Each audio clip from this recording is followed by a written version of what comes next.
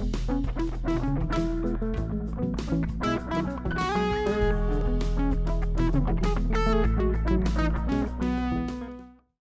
right, so we'll call the meeting to order for Wednesday, December 16th, 2020. And I just have the formalities. This meeting is being recorded. Uh, in attendance is myself, David Fill, Joyce Chunglo, Jane Nevinsmith, John Waskiewicz, and Christian Stanley from the Select Board. All votes will be taken by roll call called by Jennifer. And I think that's about it. So first order of the business tonight is the consent agenda. We don't have any minutes tonight, but we do have warrants. PR 2112, AP 2124, AP 2124S, AP 2125, AP 2125S. Uh, we have a Veterans Service Intermunicipal Agreement. The Select Board will sign that. And then also James Jakanowski, DPW General Foreman. Uh, he has successfully uh, completed his probationary period so we'll appoint him as a full-time status as a general foreman. So moved. Any further discussion on those items? I can second that. Oh, sorry. Any further discussion? No? Okay, all those in favor? Jennifer, you want to? Uh, Fill? Yes. Chunglo? Yes. Stanley? Yes. Waskiewicz? He's, uh, I think. Stepped up, yep. Yeah. Uh, Nevinsmith. Yes. Thank you. Okay. Uh, next, we have public comments. 15 minutes max. Limit your comments to three minutes each. Is anybody here for public comments? If so, turn on your camera or raise the uh, virtual hand to let us know you're here.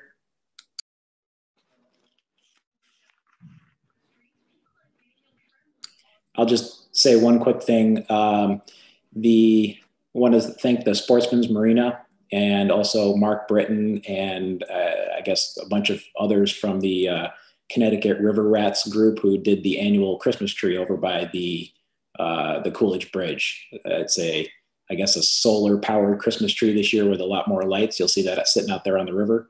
And so uh, thanks for their usual efforts of getting that out there.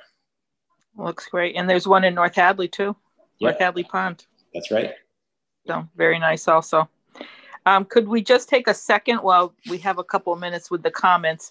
Um, it was brought to my attention, that's why I was a little bit late getting on. Um, I had received a phone call from someone that had been walking around um, the uh, path behind the school. Um, major concern with this snowstorm that there are still some barrier things that are up there. Uh, we did open the gate that goes down into there. Um, but there's still some things that are, um, I would call probably dangerous that are on the field.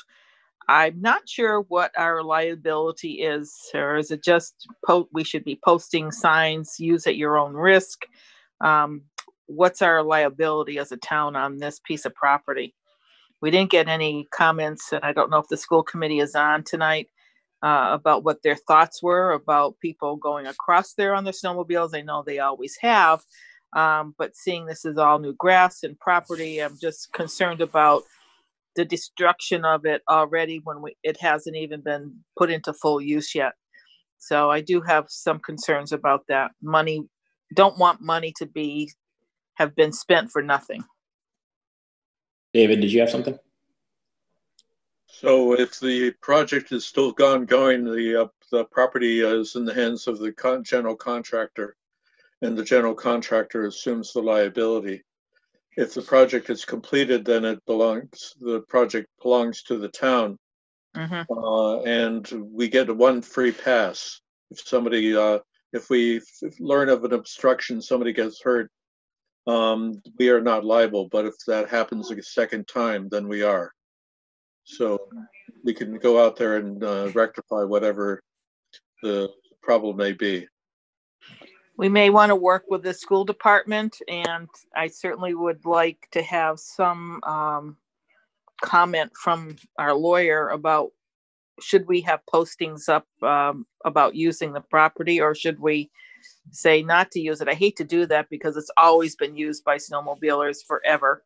Um, I'm just concerned about this year, um, when it hasn't really seeded and taken off and, uh, and if you look towards more the spring, when you don't have, uh, eight to 12 or 16 inches of snow on that piece of property, and it gets down to being just like, uh, semi snow, semi dirt, and you got people going across it, I think it's going to ruin what we've already done. So, you know, I think we need to take this into some type of consideration sooner rather than later. And it's probably too late at this point, but we still need maybe to do something. Um, any thoughts on anybody from anybody? David, you snowmobile, and you know, and I used to snowmobile myself, so I, I I get it. I understand. I'm I'm just concerned about money spent and money being wasted. So, any thoughts? Yeah, I think it's probably too late for tomorrow, but Yeah. uh, I think the school should, or, or we should get a sign up there. I know we talked about opening the gate just so people wouldn't hit that new gate that's in the typical pathway everyone uses. Yeah. Um, but Excuse me, I I can address that, that, that gate in particular. And Chris, um, I think, um, Chris was part of that conversation with Annie. If it's the right, uh, the right bridge, I'm still getting familiar with the, the town area. But, um, I know Annie was very concerned about everything that you're mentioning. And she did, I think, Chris, she worked with you. I, it might, I'm not sure who put up some reflector tape and, uh, some signs up as well. I, know that they were working on that. Chris, do you have an update on that? Yeah, we we uh, we uh, took care of the gate. I forwarded you the picture and also to Dave Nixon, uh, to Anna also. We uh, the scope of work that was given to us was just uh, the gate and also the the narrow path, but we weren't told to go into the field, so we didn't do anything in the field. Isn't there an organization of snowmobilers that we could ask to pay attention when spring comes and not ride on that in respect for letting us, letting them use it all the rest of the time? It's not necessarily that organization, Jane. We have young kids that don't belong to that, and they're they usually are the ones that are out riding in that field. So, um, I, I think by maybe having some news bulletin or something out there where uh, people can see it, the parents or somebody, so that they can pass it on to the kids. Um, If they're kids, aren't they in the school system and we can reach them that way? we could, if they're either there or Smith School, one of the two. It depends where they go. Well, I think we should, you know, use that as an avenue for access to their, I'll I'll reach out to the uh, Hadley Snowmobile Club and just reiterate to them to send out. Uh, there's a Facebook group for that and some other groups, so I'll have them send out some information to the members, just reminding them that there's new fields, new grass there to keep off it, and then I guess we can probably talk to Dr. McKenzie about addressing it with the students as well. Okay, that sounds good. Just so we're all aware and it can be put out there at some point about it. Thanks. I can follow up with Annie tomorrow on that. That'd be great, Carolyn. Thank you. Any other public comments before we move on?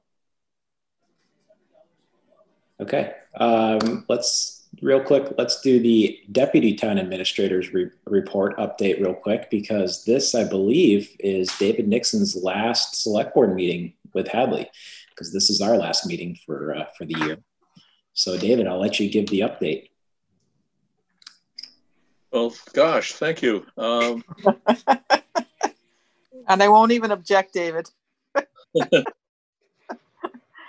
Uh, so uh, it's been about uh, four months since my last report, so we have a bunch of updates here.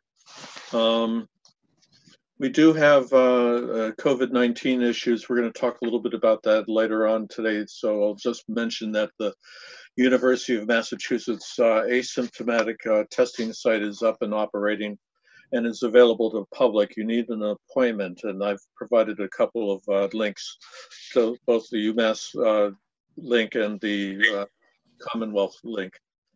Um, moving forward. I don't want to repeat what we're already going to talk about today. All right, Mo- Moody Bridge Road, the flap grant project is substantially complete. The three uh, buildings, fire substation, the library, the senior center, are substantially complete. Uh, we are provo- preparing uh, two bid packages for the old Goodwin Library building. We have money from town meeting for both a design for an elevator as well as uh, upgrades to the electrical ceiling system in the ceiling in the uh, old library. Town hall pillar painting uh, is on hold until spring for, for warmer weather, but we have a general contractor for that. Cemetery restoration projects are active.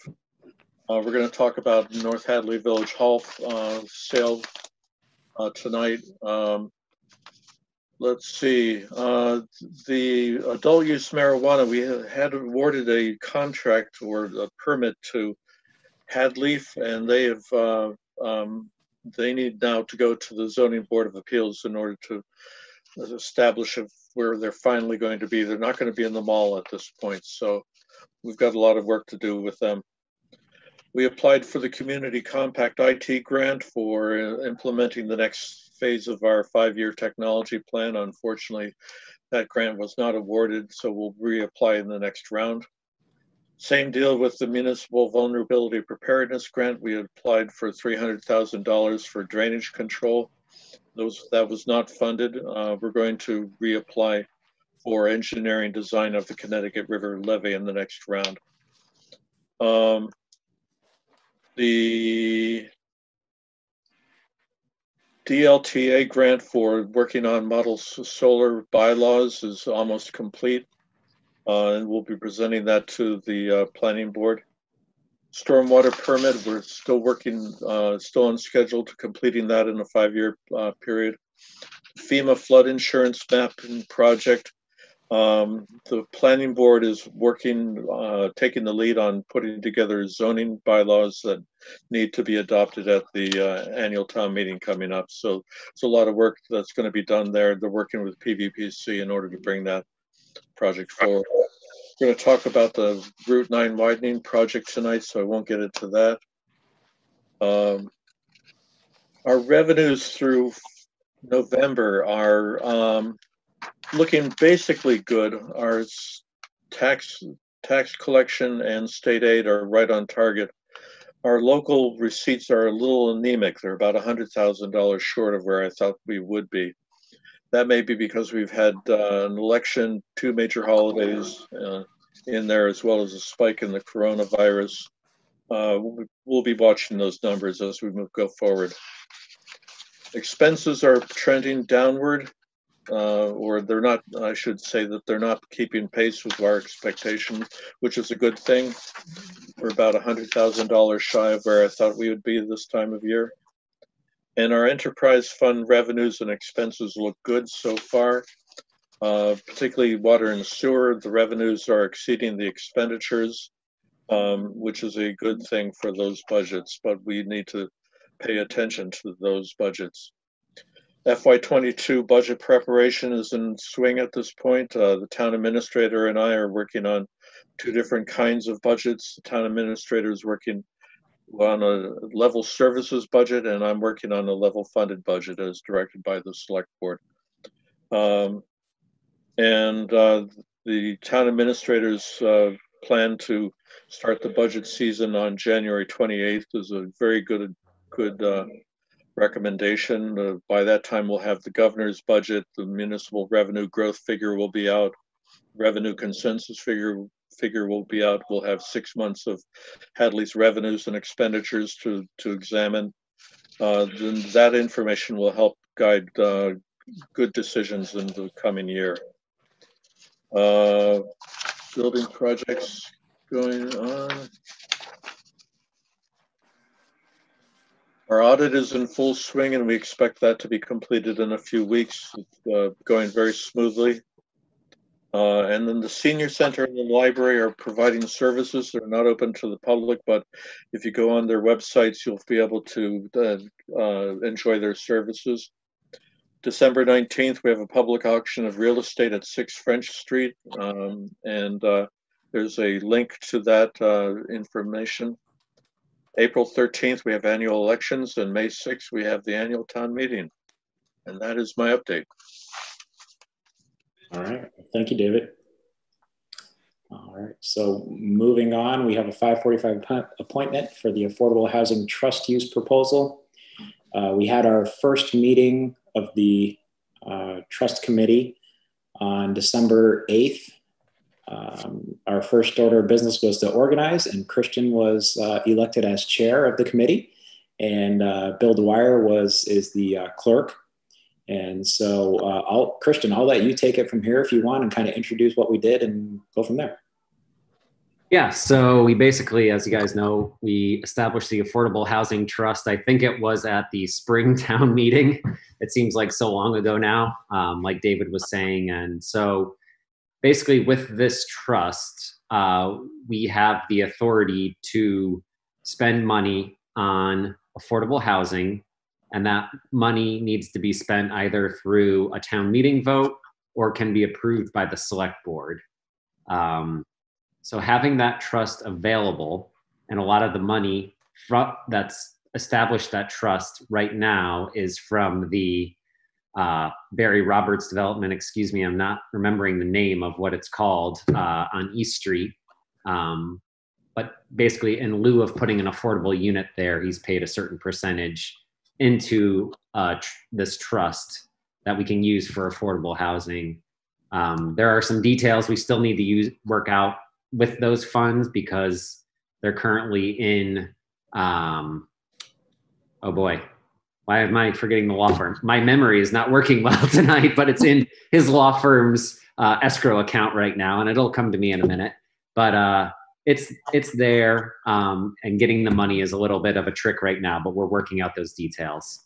Um, so anyway the uh, affordable housing and economic development committee came to the Affordable Housing Trust requesting funds for a um, rent uh, rent rental assistance um, that can help people uh, make rent uh, for I think it's three months or three thousand dollar maximum per individual, and so uh, the Affordable Housing Trust voted to fund um, that project for up to $50,000, um, kind of on a trial basis, because this was supposed to be something that was taken to town meeting, but we uh, had the quorum check uh, before this article was presented to town meeting. So there's a little bit of a stopgap to see how many people will apply,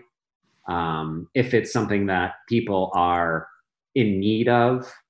Um, those are the basic things. And then once we know that, we can either ask CPA for money at the Springtown meeting or possibly fund it again through the Affordable Housing Trust. But for now, the idea is let's see how it goes and see if we can get money through CPA in the spring if more is needed. But 50,000 might be a good number to start with and all we need.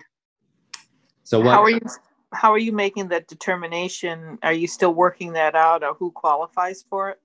So the uh, the program would be um, would be run by Community Action or Community Action of Pioneer Valley, and so they would be administering this these funds, and they would be taking basically twelve percent to administer the program. Um, so if we figure three thousand dollars per applicant, fifty thousand dollars. Um, you're looking at you know around uh, 16 or so applicants um, probably 15 once you take out the cut so you know we're kind of figuring out how if if the community really needs it and even talking to capv and i can let other people talk here more because they know more about it um, you know they also don't know how popular these programs are going to be because they're running similar programs in amherst and Easthampton right now. But they, but these are just for Hadley residents. This, what we would be funding would just be for Hadley residents that reside in Hadley. Okay. And uh, Molly or Dylan, I don't know if you guys want to describe more about the program. You're both here, I know, and you guys can probably talk to it a little bit better. Does that include students, It's residents of Hadley. There's certain criteria. Molly, do you know what the criteria is off the top of your head if you have to be here for a certain amount of time? You might be muted.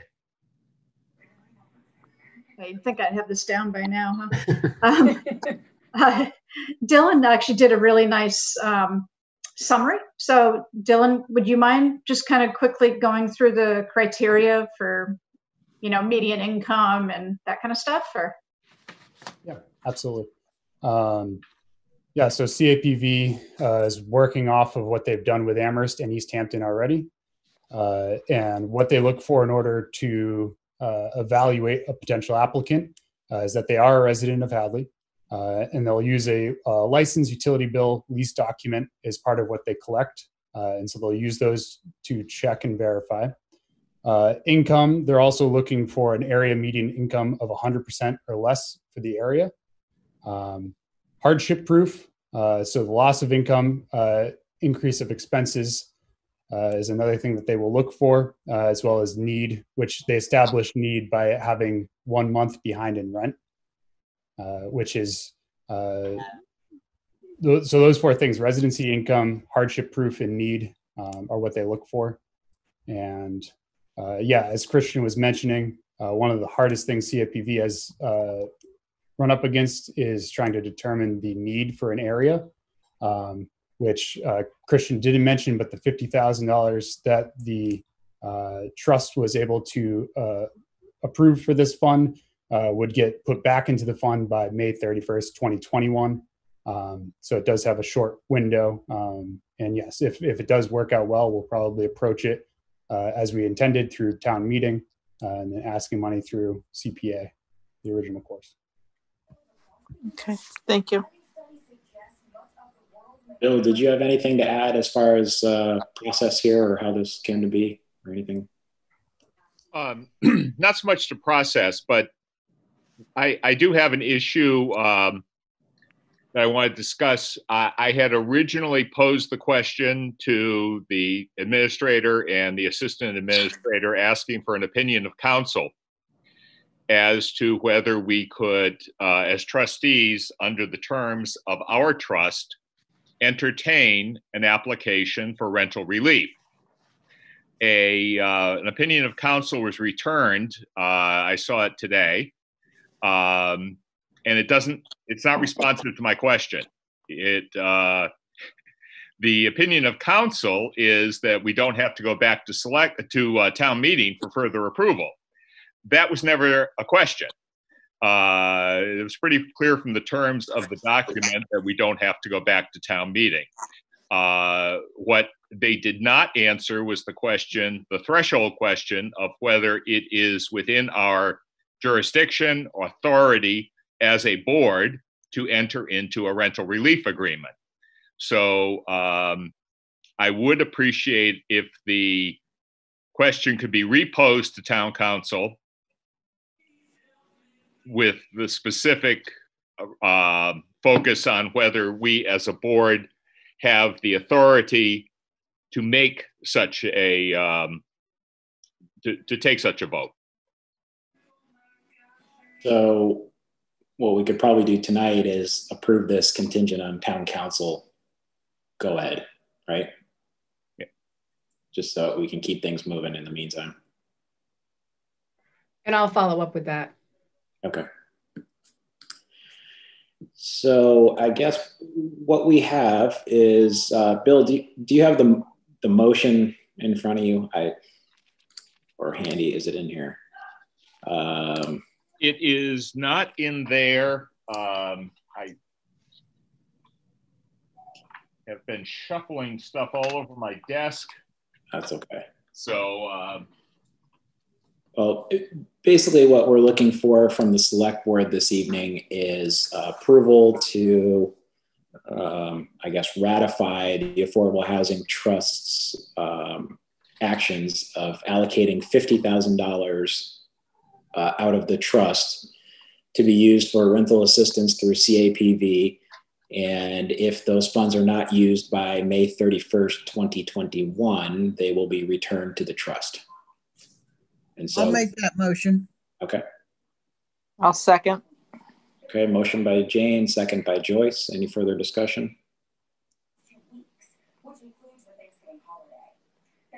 I just, I'll let you guys know too, and Bill, correct me if my number is a little bit off, but the trust funds right now are around three hundred thousand dollars.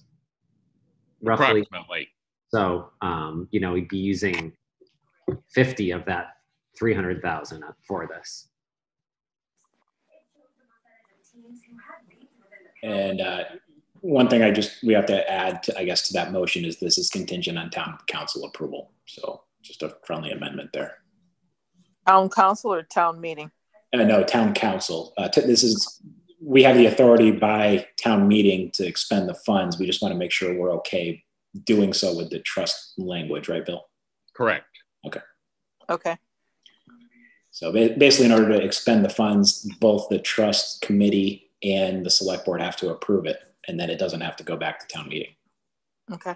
And then just another logistic there is just to try to move this along, you know, I'd like to give maybe David the authority to sign off for the select board once we get approval, so we don't have to come back to us in a month or whenever it is we meet exactly, so that we can try to get this moving, you know, sooner rather than later.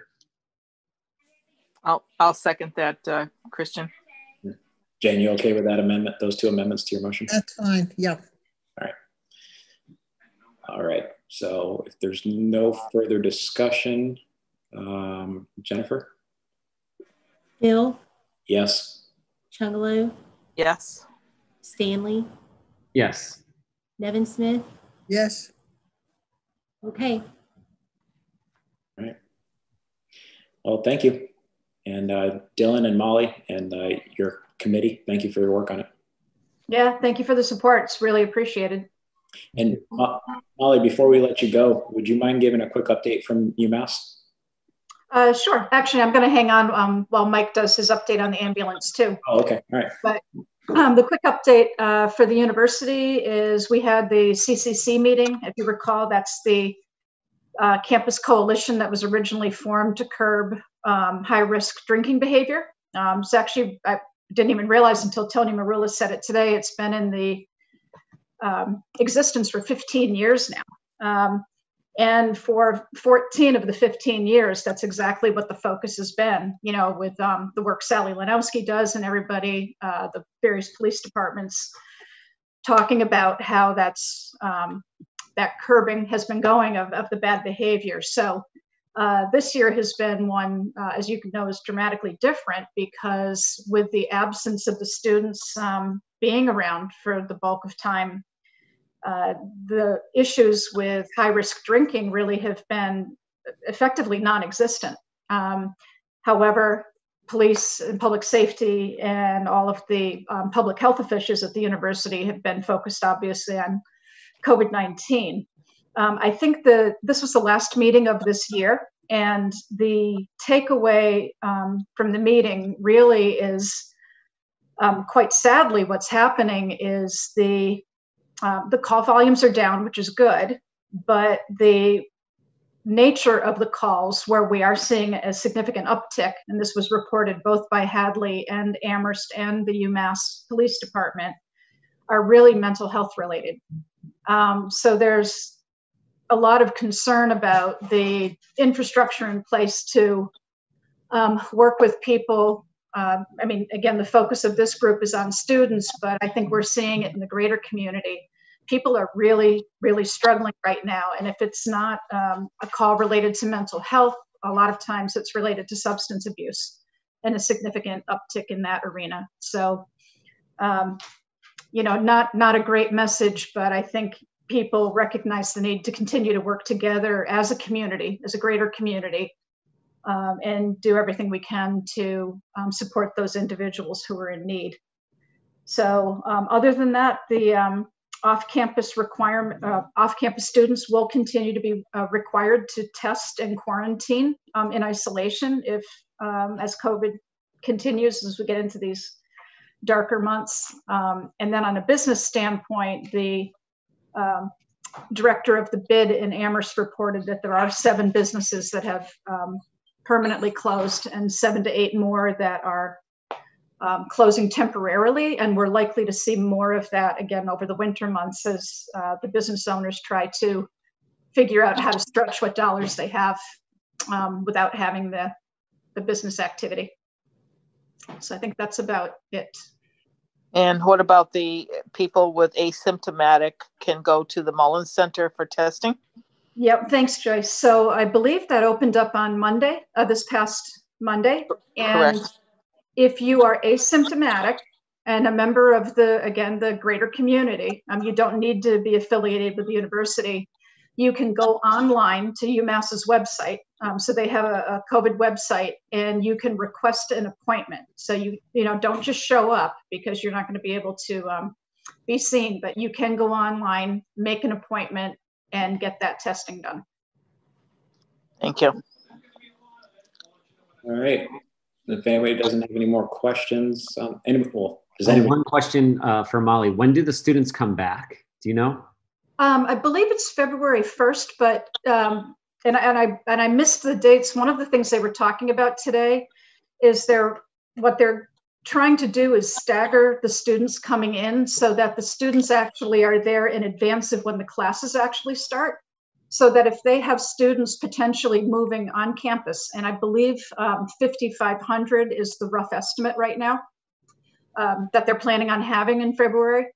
So if they're coming from hotspots or, or high risk areas, obviously the concern is that, you know, somebody coming up from, you know, Miami or wherever uh, may be bringing bad things with them.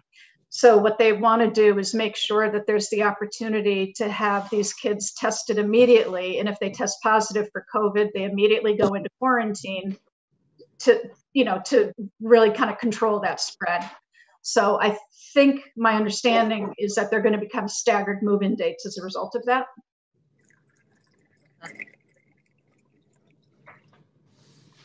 Okay. Anything else on the UMass? No. All right. Well, thanks, Molly. And uh, real quick, let's try to squeeze in the ambulance uh, update. If uh, Chief, you want to take that? Sure. Um, so the ambulance oversight committee met yesterday with myself, uh, Molly Keegan, Hank Barstow, Barb O'Connor, and then members of the uh, of Action EMS. We had the president, Mike Rawanka, and his uh, financial officer, Robert Zern, and supervisor, Rock Tebow. Um, and we went through the finance, uh, the financials for fiscal year 2020. So that's uh, July 1st through June 30th. And as part of the contract, we have a look back period of time uh, because it takes them time to process and receive insurance payments. So the look back was through mid-October, was actually which was actually beneficial to us because it allowed a little bit additional time to get more revenue in. so the uh, obviously this year due to COVID, the uh, the the numbers are down. There was a lower response uh, rate in you know March, April, actually through June. Uh, so our total bill billings, the net was eight hundred and ten thousand dollars. Uh, they collected five hundred seventy-one thousand four hundred and twenty-two. Uh, the town subsidy, which is what we paid out as part of the contract for FY twenty, was two hundred and eighty-two thousand.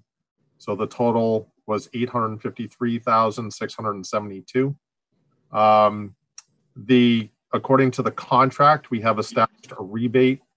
Uh, so that rebate basically is triggered when they hit their mark that they need, which is seven hundred and fourteen thousand seven hundred and fifty dollars. So we are looking at a rebate to the town this year of hundred and thirty-eight thousand nine hundred and twenty-two dollars. Um, so obviously it's less than last year. Uh, last year we received the full rebate of two hundred sixty-seven thousand. Uh, but this year we had some pretty substantial issues with COVID. Um, again, we are looking at um, some other items that were reported. We are looking at a, a and Molly, you can correct me if I'm wrong, but we're looking at about a five percent increase in calls going up now. Uh, however, um, we were we were substantially down. Um, They are looking at, uh, they did report that the state is looking to possibly be doubling Medicaid rates. Uh, they're almost, they've almost finalized that, which would be a positive for us next year. Uh, however, Massachusetts still needs to apply uh, for this with the federal government. So we're hoping that that will that will uh, will happen. Uh, that will boost our our number hopefully. Um, and we will have another look back period in December, according to contract, uh, to see if there was any residual money. Uh, basically, they will be they do attempt to recoup funds for about two years, and then the, if they don't get it after that, it becomes much more difficult to kind of recoup that. So our number again this year, our rebate will be 138,922. Decent amount of money, absolutely. Okay. Anything further on the ambulance?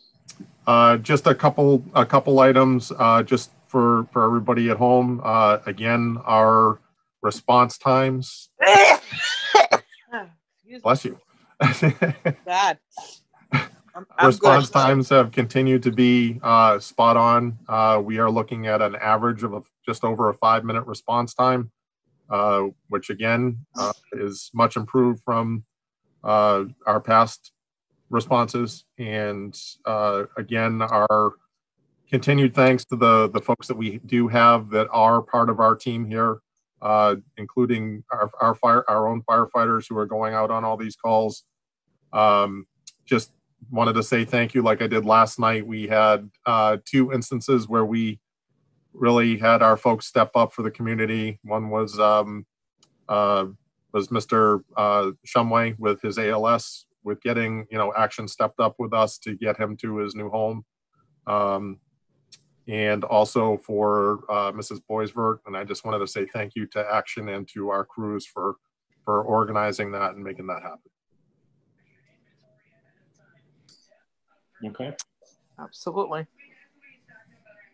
Chief, you want to uh, talk? We'll go down to uh, business not anticipated real quick before our appointment here at uh, 6:15. Do you want to talk about the surplus equipment that you're asking us to declare? That that would be great if that's okay. Uh, just quickly, um, as in the past, uh, so the the new North Station, obviously, we are operating out of now, so our engine three is able to fit in that building, and so finally, you know, three three years late, uh, we are looking to declare our engine two, which is a 1987 Pierce Arrow, as uh, surplus. I did send; it was a little bit late, but Jennifer has it, and I believe you have it now. Um, that piece of equipment will be going to auction uh, as along with some miscellaneous fire department equipment that's up in the old North Hadley station, uh, miscellaneous tools, ladders, hose, and firefighting equipment and racking. uh, and then also, excuse me, with that, uh, Park and Rec, I've met with Park and Rec up there multiple times and, and the commissioners. They've pretty much taken out everything that they needed. Also have had multiple um, tag seals. So the remaining stuff, I met with uh, Doug Billadu yesterday and walked through, and they will be, excuse me, picking up any items that are uh, that might bring something at auction. Uh, so I'm asking that basically anything in that building be declared surplus at this point. Um, there's really not much over that $500 threshold uh, unless we get lucky. Um, but that will all be brought up to Doug Billadu's for uh, for auction. That's the first uh, request. Sounds good. Make a motion to accept that. Second. All right. Motion by Joyce, second by Christian. Any further discussion on those items? Jennifer? Fill, Yes. Chunglo, Yes. Stanley, Yes. Nevinsmith, Yes, and that is, it. okay, yep. Uh, the second one, Mr. Chair, is the uh, declaration of our Hurst extrication tools. Um, they were purchased in 1993 by the Hadley Volunteer Firemen's Association and gifted to the town. Um, these are our oldest sets, and while they are still operational, we have done um, up updates to ours with uh, battery operated, as well as a set that we had purchased as part of the build out of. Um, we have one older set that's still in service.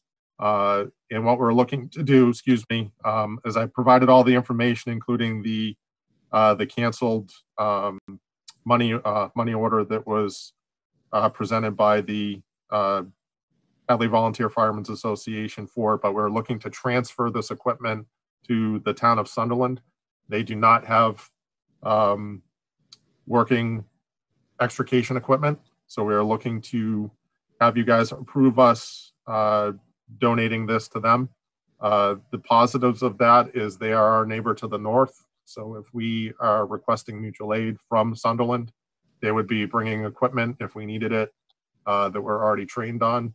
And they are very, very excited that we thought of them. And I think this is in the spirit of what we normally try to do.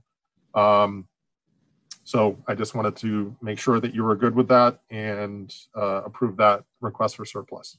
And this is this extrication equipment is known as the jaws of life for people at home, right? That's correct. It's a pair, it's a set of cutters and spreaders, our, our oldest set. Okay. I'll make a I'll make that motion. motion. All right. I heard Jane first, so Oh, stop it. you can second it though, Joyce, if you want. I, I would like to second it, but I'd also like us to put on a Merry Christmas tag for Sunderland. Um, I, think, Mike, that it would also behoove us to share that, you know, not only do we share what we have, but when we were in need, as you said, when we needed a ladder truck, Amherst donated one to us. So, you know, in the spirit of community and what we do for reciprocation throughout our community, it certainly is a nice gesture on our part. So I thank Mike for thinking of it, and I'm sure Sunderland is happy. Yes, definitely. They are very excited about it. And we have already discussed having some um, joint trainings as we train quite regularly because of the number of accidents we have uh, with extrication needs. So we'll be working with them so that they're familiar with the equipment. And uh, the only part that's not going to them is the airbags that have been taken out of service, but the town was generous to support us on purchasing those those new life-saving pieces of equipment. So we're those are actually in the process of being ordered.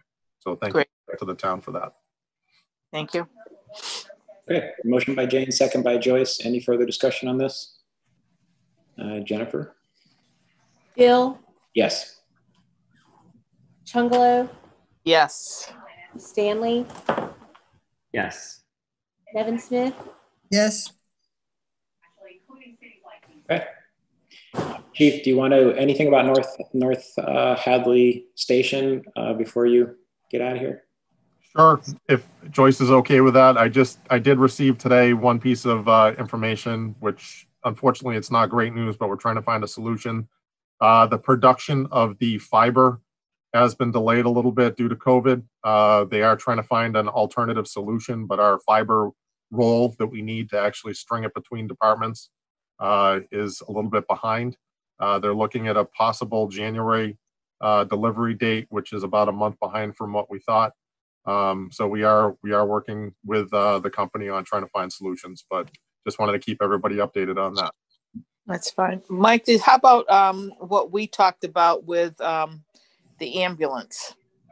You think this is the right time to bring that up? As far as the um, Purchasing?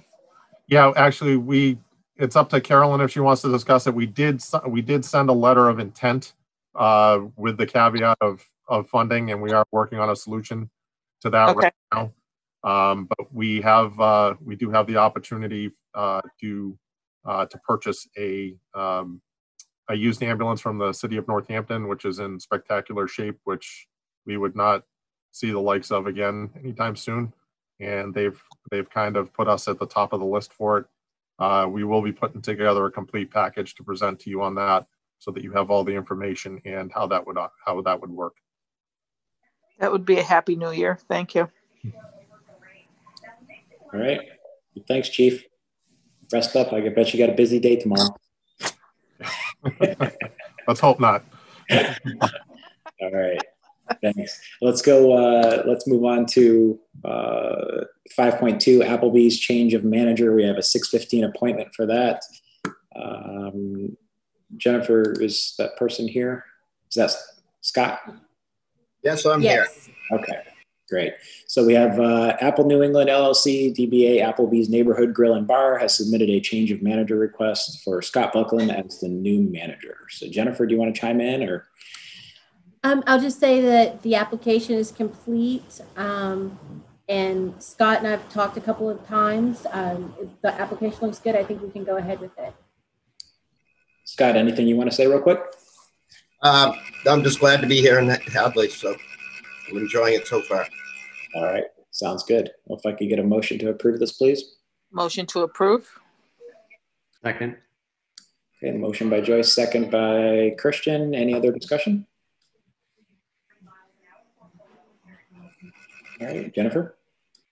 Fill? Yes. Chunglo, Yes. Stanley, Yes. and Nevinsmith. Yes, Thank you. All right, thanks, Scott. I appreciate you coming on for a minute. All right, great. Thank you very much. Have a good night.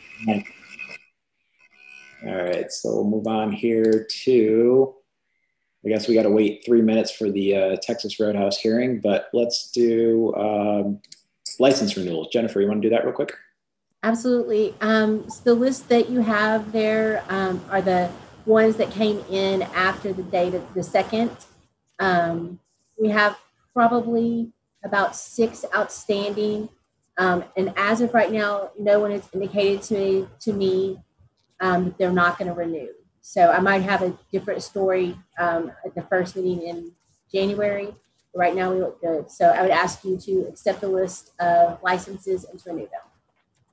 So moved. second, Motion by Joyce, second by Jane. Any discussion on these? Jennifer, will you call that one? Fill, Yes. Chunglo, Yes. Stanley, Yes. and Nevinsmith. Yes, Thank you. And we've still got another minute here, so let's skip down to, um, Is John with us tonight? he, he's listening, but he's uh, waiting for a delivery truck of some sort that he has to unload. So he's, he's here in spirit. Okay. Uh, Spirit. Let's do uh, 6.5 annual town meeting warrant. Uh, we are, the select board is asked to open the warrant for the spring annual town meeting. And uh, we'll most likely be closing this on February 2nd, 2021. And, uh, So moved. Okay, motion by Joyce, Second. second by Christian. And Carolyn, anything you want to say about this or? No? Nope. All right, just leave that open. Jennifer? Fill? Yes. Chunglo, Yes.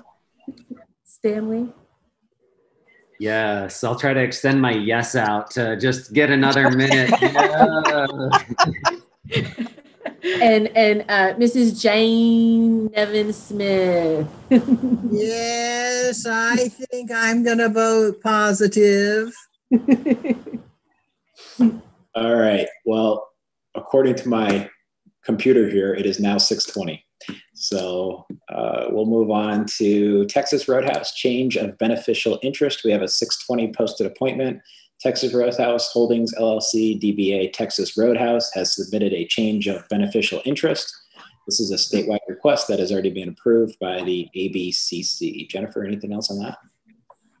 There's really nothing else to it. Uh, this is a routine thing. Um, Texas Roadhouse actually changes this, I think, about once a year. Um, Andrew Upton is here, their attorney, but um, I think he'll tell you it's pretty standard. Uh, Andrew, anything you wanted to say? Uh, just to let you know, this is a officer change at the corporate headquarters. There is no change to any aspect of the licensed premise in Hadley or any licensed premise in Massachusetts. Okay, easy enough. I could get a motion for that. So moved. Second. Any further discussion on this? Jennifer? Fill, Yes. Chunglo, Yes. Nevinsmith, Yes, Stanley. Yes. Y'all moved on my screen. All right, Andrew, thanks for showing up and uh, have a good night. All right, thank you very much. All right, thanks. Night. All right, so let's uh, let's move on to Human Resources Department 6.1. Uh, Deb Radway is here, and we have some requests uh, to make some changes to the personnel policy handbook for comp time and uh, vacation carryover for town employees. So, Deb, do you want to talk real quick about uh, what's being proposed? I'd be happy to. Thank you very much uh, for letting me come before you tonight. We have I have several items for your consideration. The first, as you said, is pro proposed language revisions to the personnel policy regarding uh, compensatory time. And um, this recommendation is made to you by a working group of town staff who have recognized that there are existing misunderstandings and problems with the current use of comp time um, throughout town government. The, the working group members, many of whom I see are hiding behind their names here tonight, are Tommy Quinlan, Mike Spanknebel, Dee Dee Debrinsky, Dan Zdonik, Linda Sanderson, Chris Okafor, Jennifer uh, Sanders James, Joan Zuzko, and myself. Um, just, I don't know how much detail you want me to go in here because I'm HR and I'll talk forever about stuff I'm passionate about. Um, if, but I just happily hit the highlights. And if you have questions, we can talk about it. Does that make sense? Perfect. Or do you want, okay.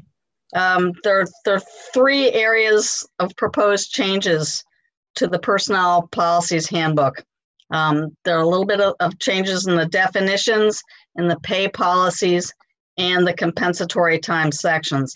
And these three areas uh, reflect a combination of simple wording clarification and then some substantive policy changes.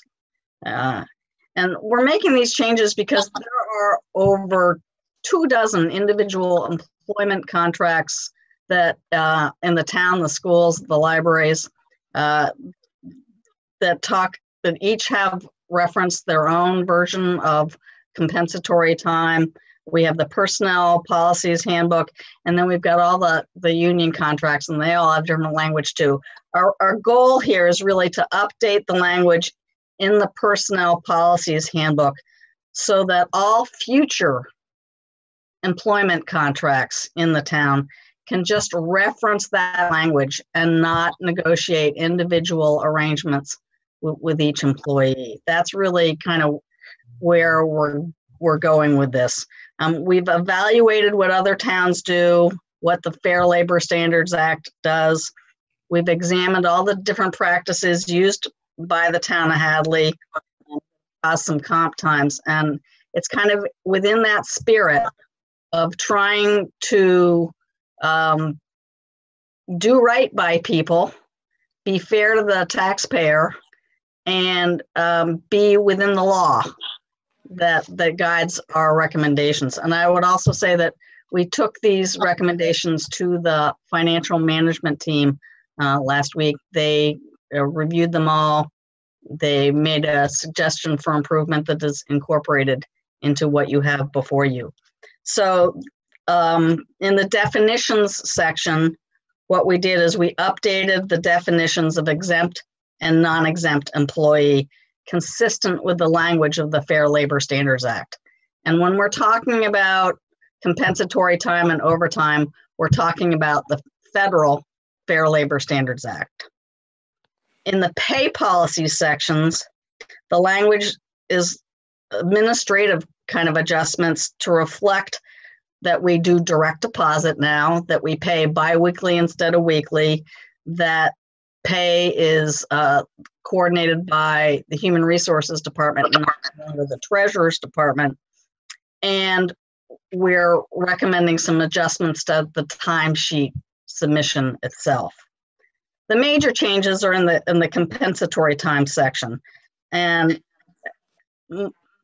both how we accrue comp time for non-exempt staff and then what we want to do with exempt staff.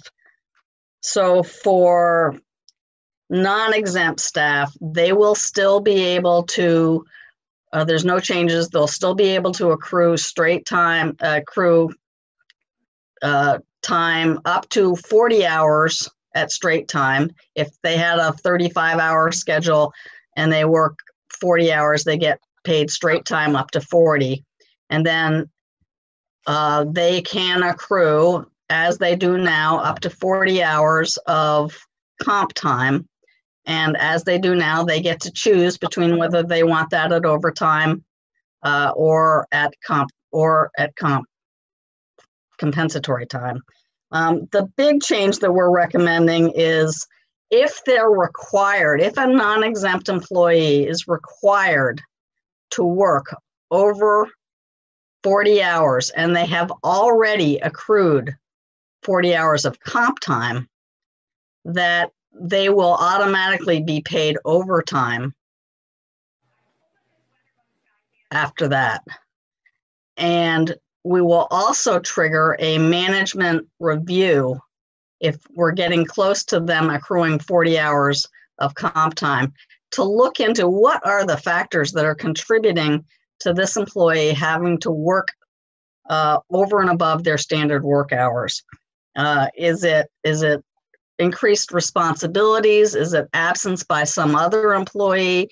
Is it a budgetary snafu? We, we want to guarantee that the employee has a meeting with HR with a, or with the town administrator with their department head to look at the factors that are contributing to why there's comp time. So that's the big change for the non-exempt staff.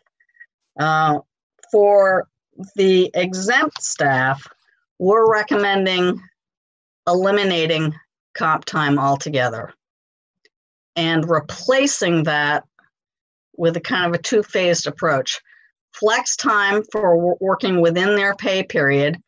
If they have to work late extra meetings, they can adjust their time during the day and just let folks know what, what they're doing. Or if there is an extraordinary event, uh, like what's going to happen in the next 24 hours, or there's a, a major fire that the employee will talk to Carolyn ahead of time. We'll talk to the town administrator saying, hey, I'm giving you a heads up. We've got an event that's happening or after immediately after the fact if it's already happened and and talk through what what occurred why there was nobody else able to carry those hours and why the the management now worked those hours, and then they will um, be given extra time off to be used at a time convenient to them that the town administrator knows about, um, but doesn't accrue and get paid out. It's just reciprocal time off. And it's for major events and it's mostly for essential personnel. And that's what we're recommending doing. We're recommending that this start January 1st, 2021, or at the expiration of any individual employment agreement that's currently in effect that has language that's contrary to what we're recommending. So somebody's got an employment agreement with different comp language that doesn't expire for another year, there we we would honor that employment agreement for that duration. So that's kind of the nuts and bolts. If there's folks who are on the committee who want to jump in and say whatever I've forgotten. Let me uh, ask someone to make this motion and second it. And if we have any more um, discussion, we can do that. So I need someone to move that move. adopt the revised compensatory time policy dated December 16th, 2020 as submitted by the Human Resources Department to incorporate it into the Town of Hadley Personnel Policies Handbook effective January 1st, 2021. I'll move that. Okay. I can second it. All right, so motion by Jane, second by Christian. And if anybody wants to chime in on that.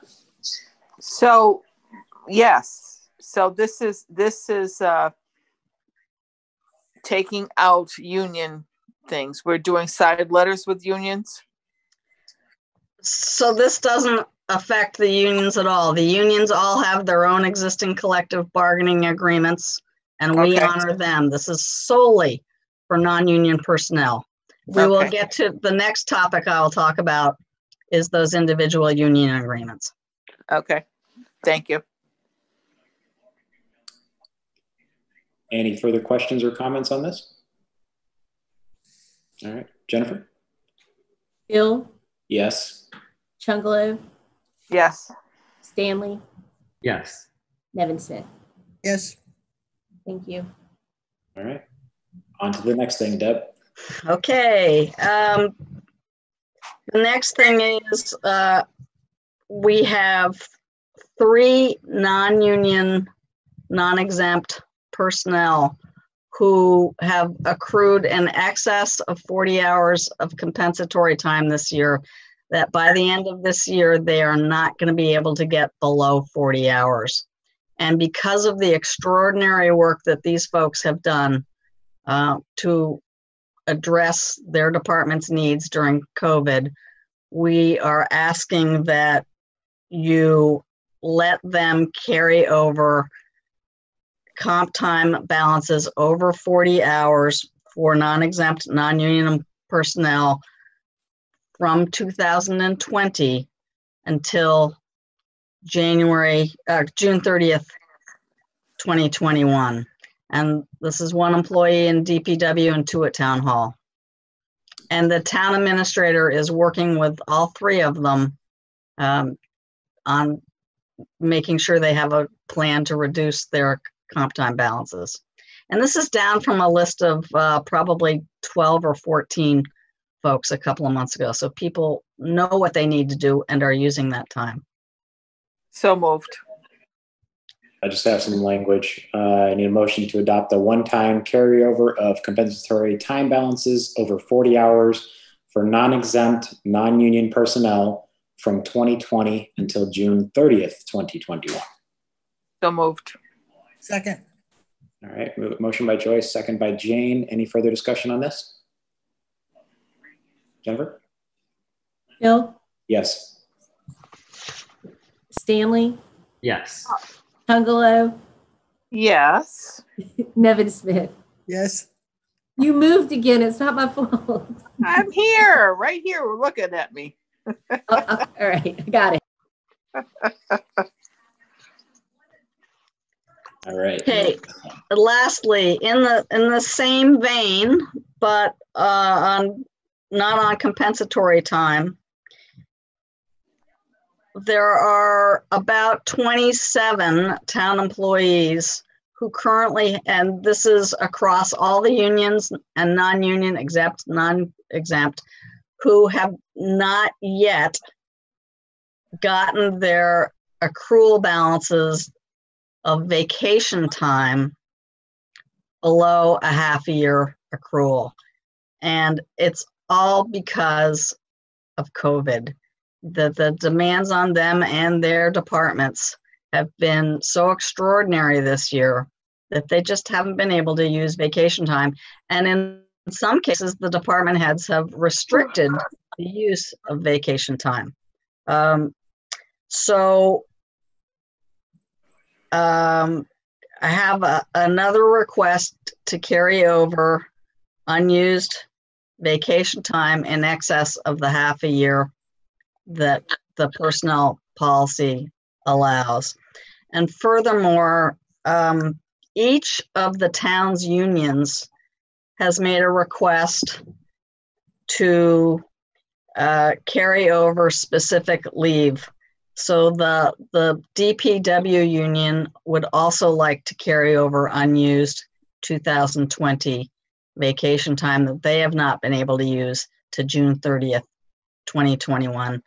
The police union uh, would like to carry over vacation and holidays that come at the end of the year that they haven't been able or they won't be able to take before the end of the year. And the dispatch union uh, would like to carry over up to three holidays from 2020 into 2021. So um, that's that in a nutshell, nutshell package. I know that the chairman has a big motion to read. I So do. Joyce, hold off on your motion.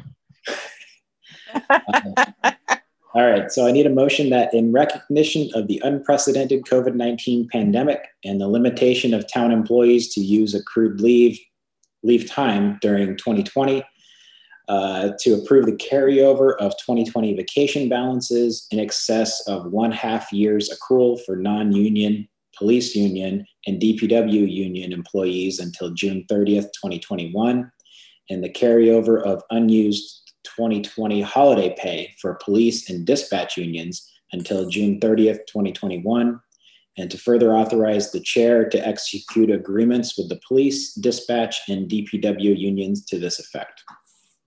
So moved. Second. By motion by Joyce, second by Christian. And any questions or comments on this? My, my only question is, and, and maybe this is something we can think about at a longer term, but with these and expiring in June, you know, I just don't know how much the virus is going to let up between now and then where we can just take a vacation, go on vacation, anybody for an extended period. So just not that I'm going to vote against this, but should we be thinking about a payout or some other means besides extending these times for people. But again, know that the budget and other things are tricky um, right now. But um, just throwing that thought out there of, you know, uh, we're we're kind of passing it along, which I think is good, and I do hope everybody can take a vacation day and we can resolve it. But what do we do if June comes and still there's this bank of vacation days and comp time and all these things?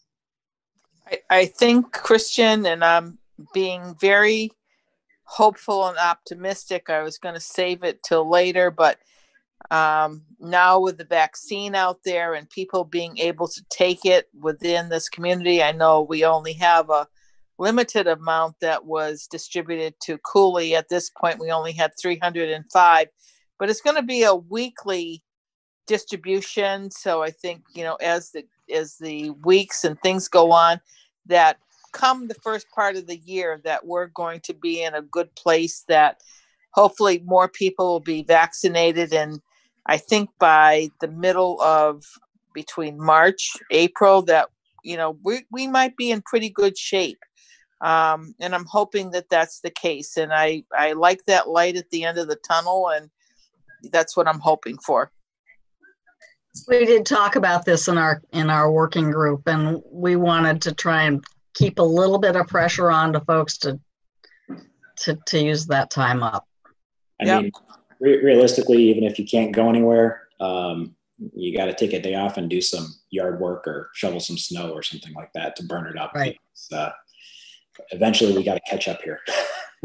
For, Yeah. for, for that emotional health as well as anything else. Right. Yep. Yeah, yeah, I'm not arguing that. I think people should be taking days off just to decompress a little bit. Yeah, for Yep. sure.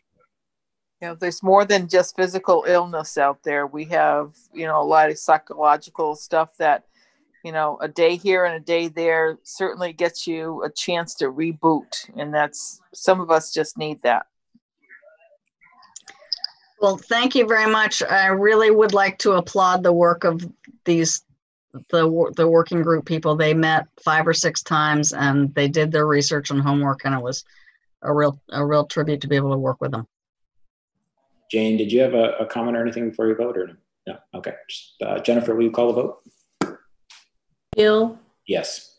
Chunglo, yes Stanley, Yes. Nevinsmith. Yes. love you Thank you. And can I just say that Deb did an excellent job with the work group. It was really, it was really great to work through the process and see how it, it would go. And I really enjoyed it. So thank you, Deb. One, one more step toward a uh, more streamlined and standardized uh, process for the town. So it's a, it's a step in the right direction. great Thank you. All right. Thank you. All right. Thanks, Deb. Uh, we'll move on to, let's do, uh, is Dr. Moser here? Yep, she's here. All right. So let's do um, COVID 19 update 6.2. Uh, the select board will review the town of Hadley's response plan for COVID 19. And uh, we have some changes from the governor's orders and um, a variety of things to talk about. So let me start off by saying uh, Unified Command met last week and we had a discussion of possibly making some changes to the town's reopening plan. And so, uh, Dr. Moser, maybe you want to start off the conversation here about what what the changes are and and kind yeah, of just uh, share a little bit of uh, of information here. Thank you, David. Yep. Um, the uh, you know COVID nineteen infection uh, rate is uh, increasing in the state and in Hampshire County at an alarming rate right now. Uh, thus, uh, the, the rollback of our reopening plan. Uh, the governor uh, re- rolled back, I guess, about a week or so ago. Um, it it doesn't it doesn't have any huge impacts on uh, restaurants or the big box stores. I mean, there's some decrease in maximum capacity, you know, occupancy of, of these uh, types of places. Uh, the restaurants remain open for indoor dining. The gyms remain open. The you know all the retail stores remain open. Uh, I think arcades are closed. There was a closing of a, of a few things, but uh, um, the right now uh, Cooley Dickinson has, uh, as of a few days ago, had 16 COVID cases. Uh, I think four or five were in the intensive care unit. There still is capacity uh, for more uh, in the Cooley Dickinson uh, ICU, which uh, which is a good thing. I want to report to everybody we have had many, many, many businesses, restaurants, and retail in Hadley with COVID positive employees. So the the virus is amongst us. Uh, also, uh, nursing homes in Hampshire and Franklin County, which had been spared, uh, now also have uh, multiple cases in uh, almost all of, of the nursing homes. Uh, I know here in Elaine Manor, and there's a few up in Franklin County, and I think multiple facilities also in Northampton, both employees and uh, spread among uh, amongst the residents there.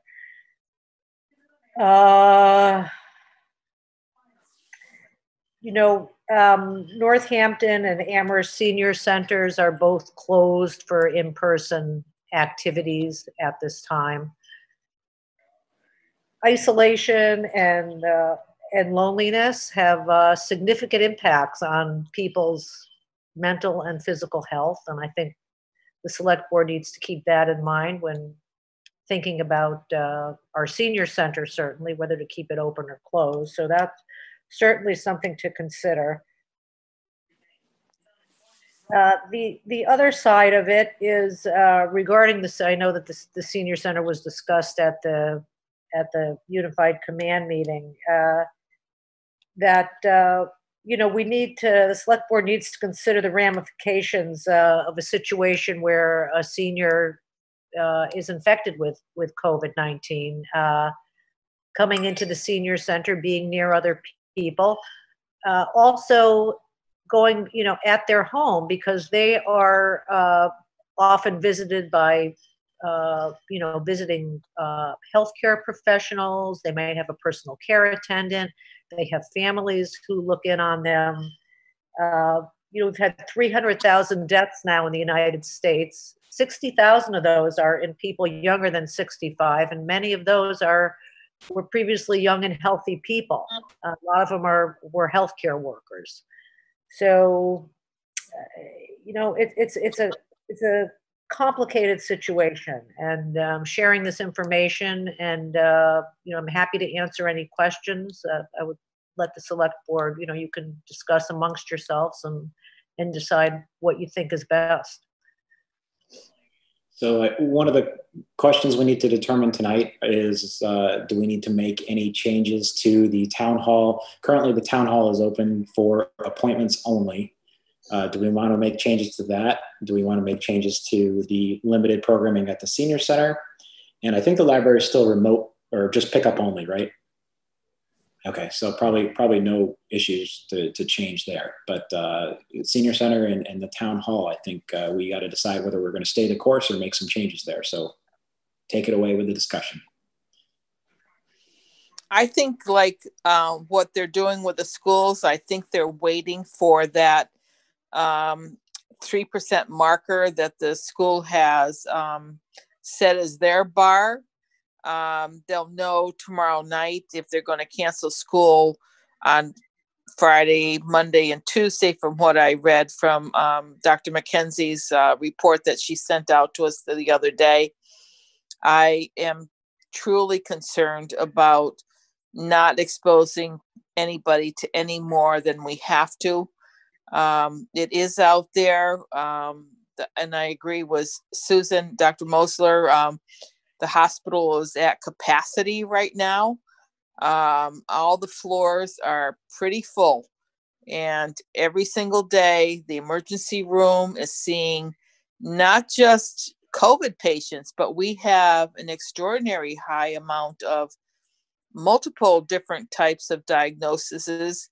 And we also have a lot of psychological patients that come into the ED. This has really been an extraordinary time at this point that we need to make sure that we are keeping our community safe. I think in closing our senior center and our town hall until the first of the year, January 4th, would not be a bad thing. Um, I don't know, uh, Dr. Mosler, do you agree with me? I, you know, I, I have to say, I, I, I don't want to weigh in on a right or a wrong. I, I, I think, you know, I, I, I gave you the information. And, yeah. Um, I mean, certainly your certainly your expertise and you know Listen, between if me I and looking. if I were the governor, everybody would be at home. So, me too. so but you know, as as business goes on as usual, because that's what we try to do, um, and we certainly want to try and make it as safe for everybody as possible. And I think, you know, shutting down until after Christmas wouldn't be a bad thing. Do you? I mean, that's what I was. That's what I was thinking. If if we were to do this, I would just say let's look at January sixth as a date because our next meeting is January sixth. So I wouldn't want to say January first and have things go downhill. But we're you know we can talk. Jane, I'm sure you have some comments, so let's let's keep the discussion going before we do that. Yeah, I would, I would like to let Haley speak because I know she has things she wants to say. Yeah, please. You're muted. Thank you. My internet is a bit intermittent, so forgive me if there are some moments of silence. Um, I will comply with whatever the overall recommendation is for, from tonight, um, with you know respect for the expertise and the cautions that um, select board might want to apply to the senior center. I I do feel comfortable about the level of activity that we're hosting right now and the um, ample spacing um, between um, very small groups of people. There are never more than, there are probably never more than um, 10 to 15 people in that building at a time, mostly far fewer than that. And we've worked to really space things out so that there's time that people don't spend more than a half an hour in a room. Our classes are a half an hour long.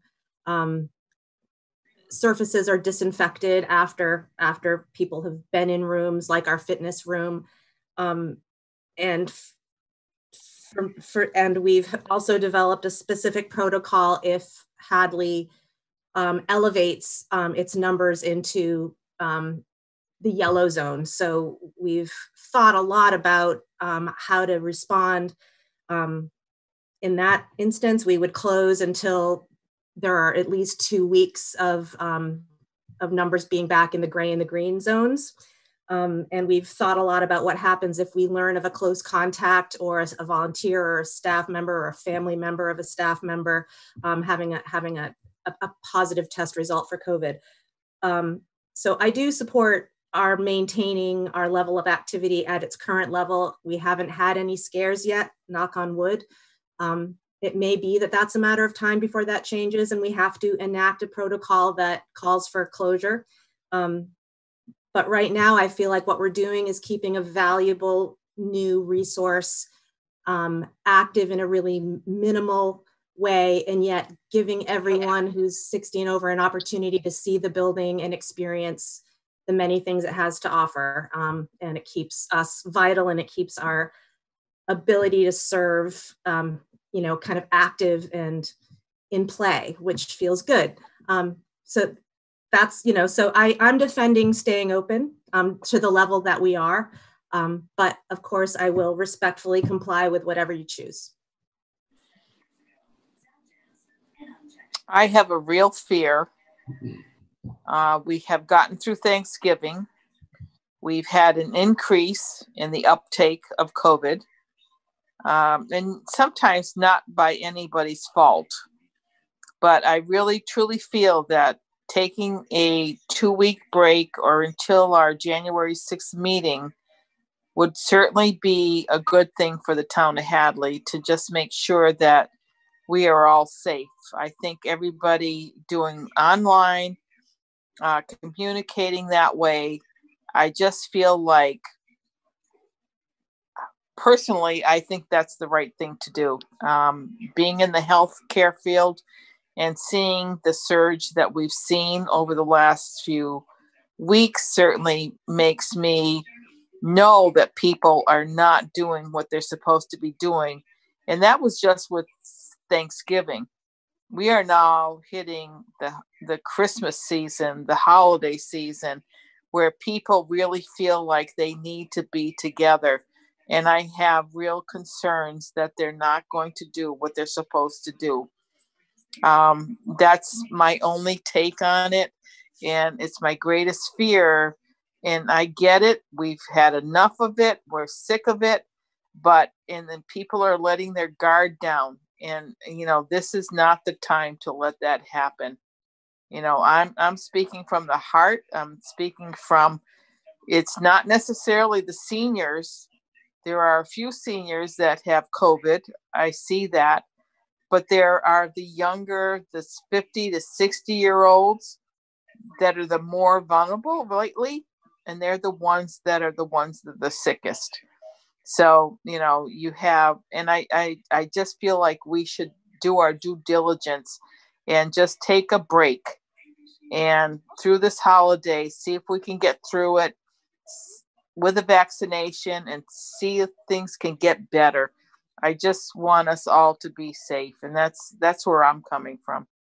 Chris, I agree with you, Joyce. Yeah. I agree with Joyce. We've had a two or three scares done at DPW. We've had two or three scares at the town hall. It just and the numbers are going up. I mean, it's undeniable here, you know. Yeah. Yeah. I, I think I think we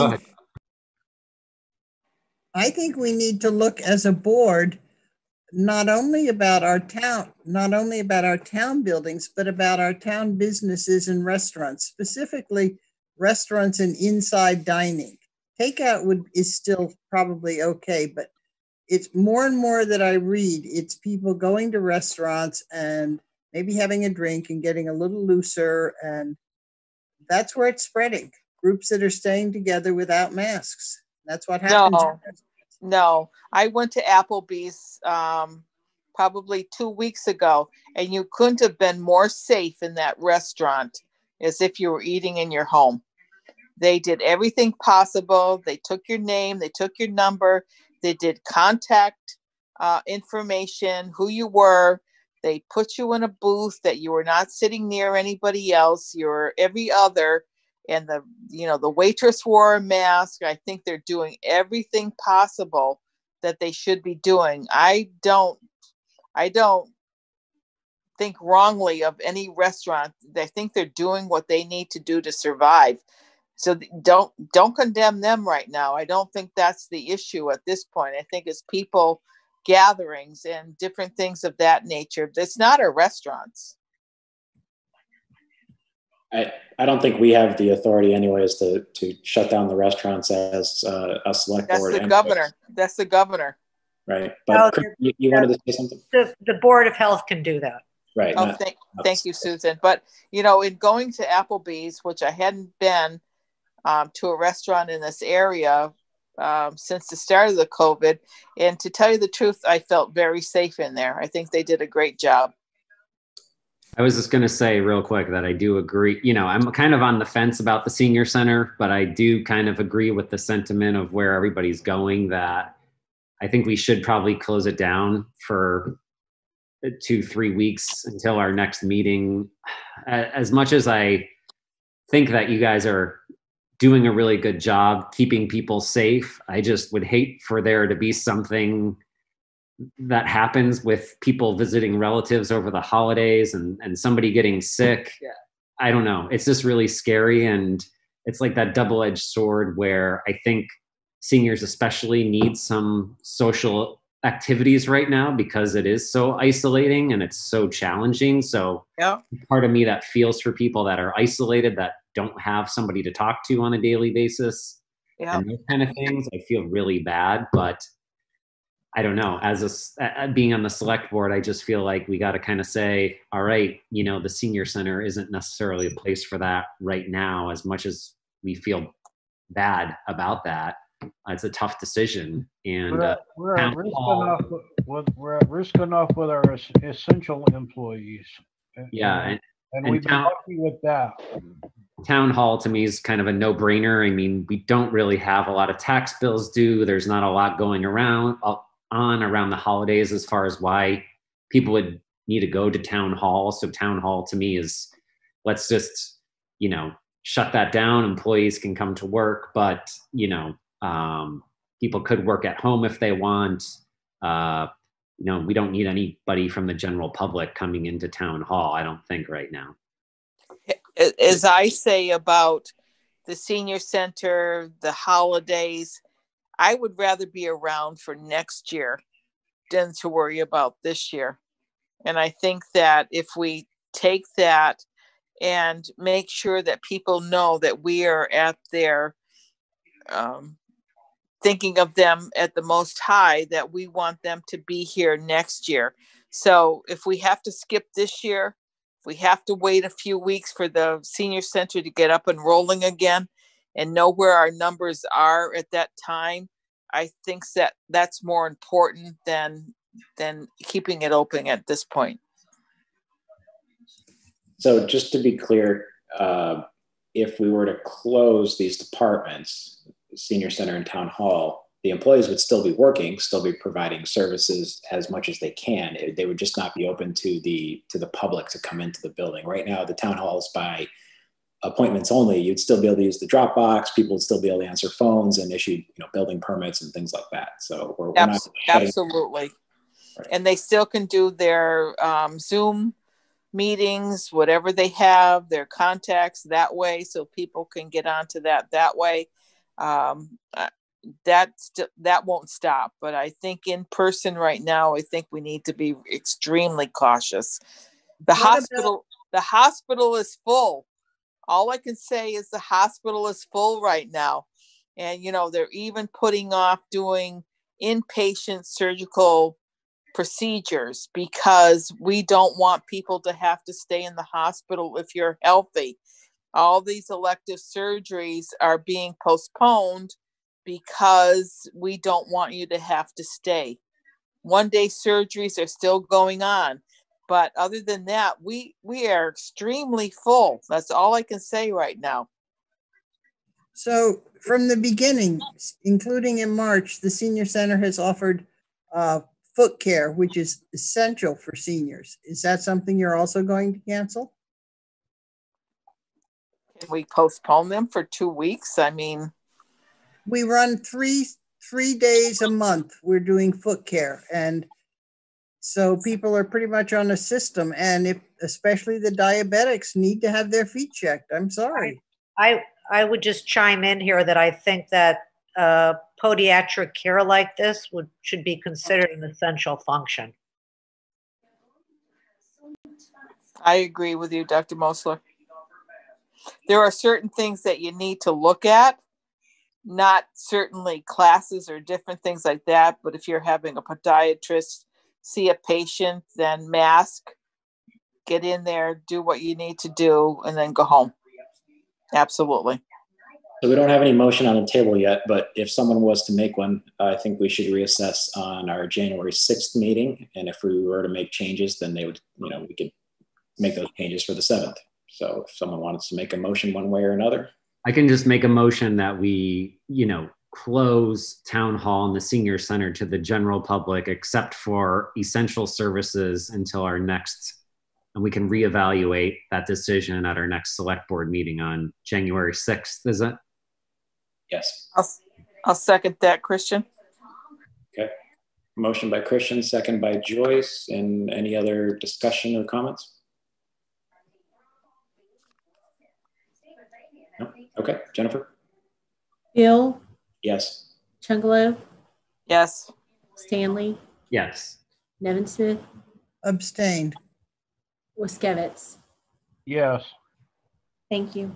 And uh, Haley, I just wanted to say uh, thanks for, uh, you know, I know it's tough trying to run a program remotely, but uh, thanks for keeping everybody safe and the, the time that you were able to, to reopen. And hopefully we'll have you back up and running again soon because uh, actually, do you want to share some of those numbers? Jane, you had some good numbers of the number of seniors that were stopping in so that way people. You can do that, Haley. And well, I I haven't brought in my my stats. Um, I remember them. but I think that we probably served over a hundred unique individuals in the last month. As I said, it's very very well spaced. Um, and you know we we do consider and, and we still have a, our transportation program is is you know beginning to to pick up a little bit. I consider that an essential service and that doesn't involve people visiting the senior center um, and we have you know 10 regular riders that are depending on us for that. Um, yeah i'm sorry i'm just not really prepared with those stats right now But you do understand, Haley, that we want you to continue with essential services. I I completely understand. So as I and I've they're I think well defined and as discussed, foot care can be among them. So I'm glad about that. That's great. Okay. Thank you. We're not trying to shut you down. That's for damn sure.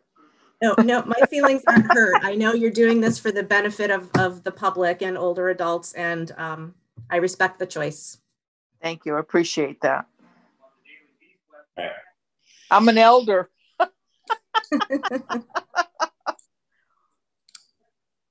All right, so let's move on. Let's hit uh, liaison. Well, actually, is there anything else we need to address for uh, the for COVID? Dr. Moser, did you have anything else you wanted to chime in on? Or Nope.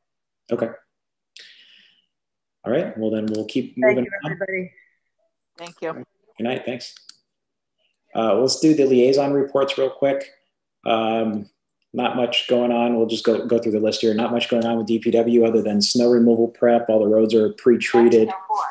The um, uh, crews have been out doing pothole repair the last week or so, um, and, and just basically doing storm prep. So um, if we get the 10 to 20 inches they're calling for, it could be an interesting day tomorrow and tonight. But um, that's all I have for DPW. And we know what you're going to be doing tomorrow. Got that right. Snowmobiling all around. I'll go down the list here. Uh, Christian, uh, general government library, anything you want to update on there? Yeah, I mean, general government, I think we've gone over a lot um, already. Uh, and library is very close to being out of the Goodwin. I think they just have a little bit left to move, but they're hoping to be fully into the new library uh, by the first of the year, come the first of the year. And then um, trying to think what else. They're they're open for curbside pickup. So if you would like a book, you call, um, ask for a book if you know, or if you uh, need help finding a book, they'll help you, and then you just go and pick up the books. Um, and that's about it, I think, for it right now that I can think of. Jane? Well, the school board, as you all know, is working overtime, maintaining uh, metrics and reviewing them constantly. And I have to say, I'm really impressed with the effort that they all put in and the hours they spend in meetings. And you already heard what's going on at the senior center. So those are my two major. Okay, John, you have uh, Park and Rec, Hadley Media, and Veterans Affairs. Anything from there? Uh, yeah, I tried to contact Park and Rec, but I haven't been able to get through to them. Um, uh, Veterans Affairs, I seen something that wasn't sent to me uh, about a mutual aid agreement or whatever you want to call it uh, uh, with Northampton and a few other towns. I did read through that, but uh, I didn't. I can't elaborate on it. Just what I read. Okay. And then uh, Joyce, Public Safety. What do you have over there?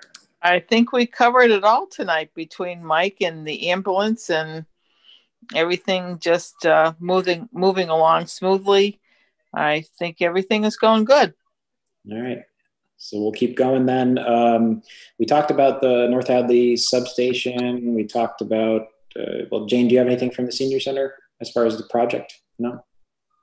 The senior center is doing fine. We're, I mean, we got one of the things we've been waiting done today, which is finally the uh, lock to fit in the pocket door between the reception area and the office area. Okay. There's still a little few little things they're working on. And uh, Christian, any updates on the library? The only thing I had was that um, there's been some questions about the one-way roads and whether to have arrows painted on the driveway or have some more painted on or some signage.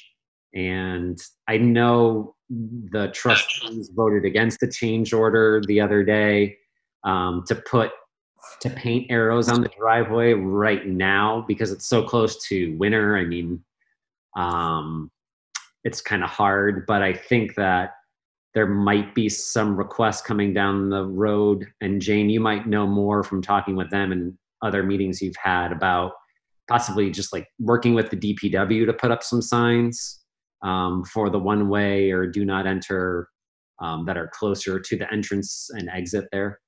Yeah, we, we talked about that at the last big meeting, if you will, that both entrance and exit need one-way arrows.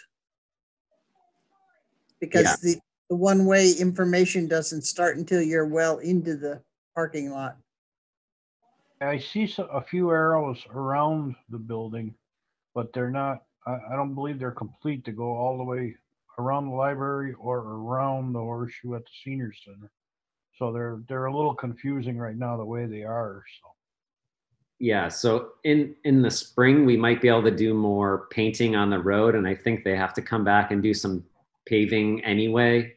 Um, and and then the signage, maybe maybe if we get more detail of what we need, the DPW could just put up some signs instead of having the contractor do it. The other, the other thing is Joanne Konetsky and I have been talking and we're going to try and put together a parking policy for that lot, um, which we will bring to the select board in terms of who can use it when. And for instance, if one of those two buildings, library or senior center is having a large event, then we are going to need to make sure that residents aren't doing parties that day or whatever. Okay. Move on to 7.2 on the agenda, which is uh, Russell School Letters of Interest. I'll just quickly say we had two people responded or two organizations that responded, and they will be reviewed and uh, uh, requests for proposals put together. But I think that's about it for now. But the good news is we did get some response on those, so uh, so that, that's progress. Um, let's do 7.3 Mass DOT Russell School and Middle Street intersection. Um, most people are probably seen by now that the no turn on red signs from Middle Street, north and south onto Route 9 have been removed, meaning that you can now legally uh, make a right turn on red. Uh, just remember you can't do that when pedestrians are present, so watch out for people crossing there. Um, but Mass DOT requested that the Porter Phelps Huntington House sign that is in front of the old Goodwin be moved uh, a little bit to the north to improve the sight line. Um, that's something that the uh, the DPW can probably take care of here after after the snow um, sometime in the future. The the Porter Phelps Huntington House does not have the resources or the ability to do that themselves at this point. So um, just want to, I guess, get a vote from the select board to, to move that sign by the DPW at some point, even though it's not a town-owned sign. It Yeah, is I can- town property. Can make a motion to move that sign north. Do we have a distance? 20 Um, feet, or is that enough? Uh, I think it's just a line of sight they wanted in a letter. Okay. So I'll just make a motion to move that sign, the uh, Porter Phelps sign north, so it's out of the line of sight. Second. Motion by Christian, second by Joyce. Anything further on this? Jennifer? Fill, Yes. Chunglo, Yes. Stanley, Yes. Nevinsmith, Yes. Waskiewicz. Yes. Thank you. All right. So, real quick uh, announcements. Just a reminder: we have uh, Six French Street is going up for auction on the 19th. So you can check the uh, board docs for a, a link, I believe, to find more information about that auction. But we're hopefully going to finally get rid of that. And anybody else have uh, any other announcements? Were we talking about the North Hadley Hall at all tonight, or is that off the agenda? That's uh, executive session. Oh, Yeah, okay. we'll we'll move into that just after the announcements. Yeah, I would just say for an announcement, you know, support your our local restaurants, even if you can't go in person. You know, still continue to buy food to go. All the restaurants in the area are doing to go food, and uh, with your Christmas shopping, try to support the local businesses as well. They could really use it right now. David, if I can just, one thing that I wanted to add that I, uh, I wanted to let the board know that Parks and the Recreation Commission did hire uh, interim uh, program coordinator for 19 hours and Melissa Aloisi was, uh, had done it previously and they've hired her temporarily as they look at that position and how to repost it. Okay, thank you. Any other announcements? I, I do have some announcements. Is that okay? Absolutely. Okay, so um, we have a few passings uh, within since our last meeting. We have Rosalind Zykowski, and we offer our condolences to her family. Abida Mohammed, we pat uh, her um, we offer her condolences to her family, and then Marie Quill, uh, we offer her condolences to our, her family also.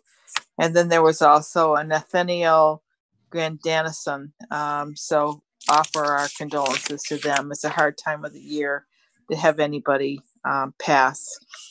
And I just want to, um, I just want to take a minute. Um, I also have um, a thank you to Gardner Supply on Route 9, who has continued Tom Giles and Janine Giles' um, tradition of giving uh, wreaths to our town hall. So I do want to thank them, but I don't want to be amiss in not being able to thank all of our businesses that we have in our town that have stepped up to the plate over this COVID um, year that we have had, and they have been outstanding. They have donated to our public safety. Um, restaurants have donated food. Our um, residents have bought food and given them to our our uh, public safety and people. Um, so I, I, I want to thank everybody for doing that. In in in in the in the spirit of this, um, just let us take a moment of our time. I'd like to uh, reflect on this past year. Uh, it was a year like no other that I have seen in my lifetime, and I'm the oldest one on the board. Maybe I want to think about that. Disagree. Disagree. Disagree? Are you older than I, Jane? well, I'm close behind you, but anyway, I, I I think it's time for us to reflect on this, and uh, we hope that we never see a year like this one. Um, it was a year of tragedy. We have lost many of our town residents, not necessarily to COVID, but we have had an unusual amount of passings in our town this year. And um, I certainly want to think of our all of our memories of people that have passed and to their families. And I want to wish them um, some type of um, what you know solace and and in in in in their passing that they still have their memories to contend with. Uh, we should remember them as they were and it's it's good for memories. Um, during this past year though we did have uh, an unusual year where hadley was able to continue on and do business and be uh, a good thriving town even though some of our businesses have lost but think about it they still donated to our town and they still um, helped us out through times of need. Um, we were able to complete three buildings. We completed our senior center first our sub fire station and our library. I mean how unusual is that that we were able to have all of these um, buildings completed in a time like we've no other have um, have endured. Um, so thank you to everybody for jobs well done and getting these projects done, and so proud of everybody for doing that.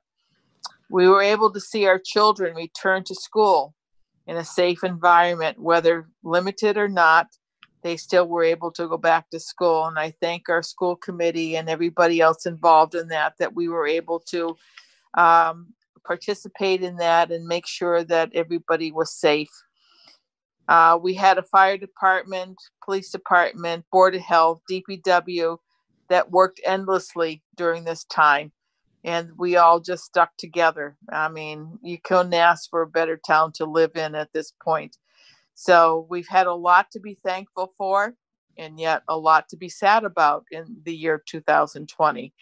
But as we see 2021 coming to um, fruition, uh, I do see a light at the end of the tunnel. And I think that 2021, we will be better, we will be united. And um, I just want to wish everybody, you know, a Merry Christmas, Happy Holidays, and be safe um, continue to practice your um, precautions, wear your mask, wash your hands, and we'll see you next year. Um, hopefully, that everybody will still be with us. So um, that's all I have. So thank you. All right. I have two real quick before we move to executive session. Uh, one is uh, condolences to Carolyn on the loss of her father, and uh, I wanted to say oh. for uh, even even dealing with all of that, uh, working from afar, dealing with town business. So you know, thank you for that. And then uh, also, this is David Nixon's last select board meeting, so he's going to have a lot of free Wednesday evenings if somebody wants to get him a hobby. I don't know what to do with myself on a Wednesday. All right. Um, but thank you. I'll have him on speed dial. There you go. Thank you. Thank, thank you, David. Yeah. Thank you all. you, thank you, David, for everything. We appreciate you for sure. Thank you. Thank you very much for all the kind words and the, Thanks, David. and the support. I got your number, David. You're not gone too far. He's not done yet. We, he's helping us out in executive session, so he's not done yet. we got him till the end of the year, right, Carolyn? That's right. Yeah. And certainly sorry about your father. Certainly Thank condolences. you. to you. Thank you. But thank you for um, the support of the board for letting me go home last week because I had three Oh my really good- God, family is always Yep. first. And I really felt that support and I thank you. And I, I really did appreciate that. Thank you. And David, because David stepped up and just took on everything that I was working on. So that was great. Well, He's and then been there's Jennifer, who picks up everybody's pieces. Yes. David. Yes, she does. Yes, she does. All right. So next on the agenda is uh, we have to discuss the sale of real estate, which would be the North Hadley Village Hall. So we have motion to move into executive session. Uh, let's see, the select board will enter into executive session as per the provisions of MGL Chapter 40A, Section 2126 to consider the purchase, exchange, lease, or value of real property if the chair declares that an open meeting may have detrimental effect on the negotiating position of the public body, uh, not to reconvene in open session. So moved. Second. And Jennifer, roll call? Fill, Yes. Chunglo, Yes. Stanley,